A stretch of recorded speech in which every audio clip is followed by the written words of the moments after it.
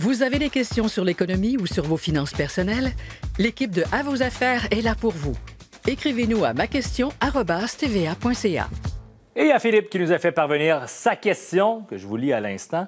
Je viens de compléter ma déclaration de revenus et je réalise qu'à court et moyen terme, je n'aurai pas les fonds nécessaires pour payer mon solde d'impôt. À quoi je m'expose si je retarde mon paiement? Question qu'on pose immédiatement à Yannick Lemay, expert fiscal chez HR Block. Bonsoir Yannick. Bonsoir. Alors, Yannick, on s'expose à quoi si on retarde notre paiement? Bien, en fait, trois points à garder en tête. La, priorité, c'est effectivement de produire sa déclaration de revenus, ce que Philippe a déjà fait. Donc, tant mieux, il va s'éviter des pénalités de retard sur le solde d'impôt. Parce que entre, la différence entre produire notre déclaration pour le 30 avril et la produire le 1er mai, il y a 5 de différence oh. sur notre solde d'impôt. Donc, ça, rajoute déjà un bon montant sur notre facture. Ensuite, ce qu'on veut faire, c'est de ne pas ignorer, c'est-à-dire les lettres qu'on reçoit de Revenu Québec, Revenu Canada, nos avis de cotisation qui nous indiquent notre solde à payer.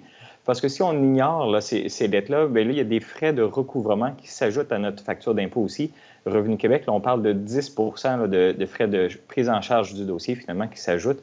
Euh, à notre facture. Puis les mesures de recouvrement, ils sont assez sévères. On a déjà entendu l'expression le fisc a le bras Donc effectivement, ça peut aller jusqu'à jusqu'à une saisie de salaire, ça peut aller jusqu'à une saisie de compte bancaire. Donc on veut éviter ces démarches-là qui, euh, bon, ils ont des, beaucoup de conséquences, mais aussi des frais supplémentaires.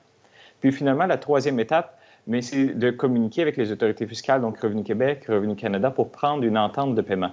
Puis cette entente de paiement-là, euh, souvent, ça peut aller jusqu'à 12 mois il y a différentes façons qu'on peut, euh, qu'on peut prendre cette entente de paiement-là. Dans les deux cas, le Revenu Québec et Revenu Canada, on peut se diriger vers leur service en ligne, prendre une entente de paiement directement dans notre dossier en ligne pour, euh, pour éviter les, les, mesures de recouvrement puis les, les, pénalités supplémentaires. On n'évitera pas les intérêts, par contre. Hein. Les intérêts sur le solde d'impayé, eux autres vont continuer de courir. Puis c'est important de rappeler que ces intérêts-là, ils sont calculés quotidiennement.